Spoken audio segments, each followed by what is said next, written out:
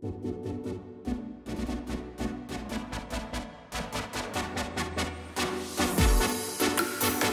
the athletes come to the exit gate and they are in the lead, they have to be available for TV. This is why we created the leader box. And new from this season on, there is the Audi chair.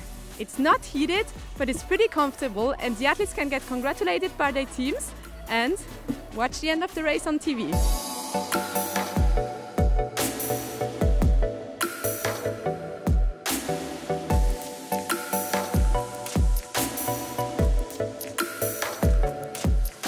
It's a dream to be in the leader box and to win a race. Then when all the other athletes are coming and congratulate you and are happy for you, that's the best uh, feelings in the world, yeah.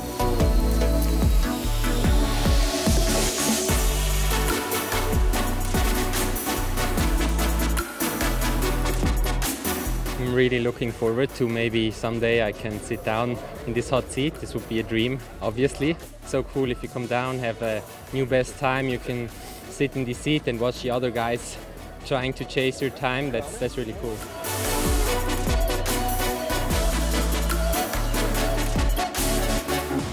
The leader chair is just a wicked awesome red leather chair.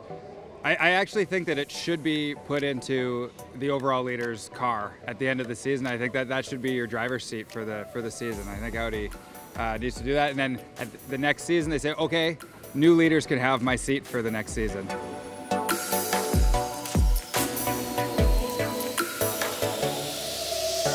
You have to do a really good run to, to take that seat. Uh, it's a bonus when you come down and uh, lead the race. My goal is to sit more in that seat.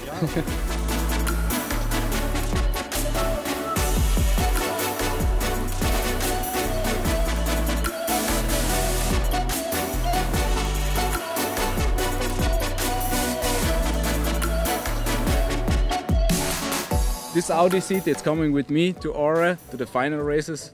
That will be the last time that I build this chair for this season.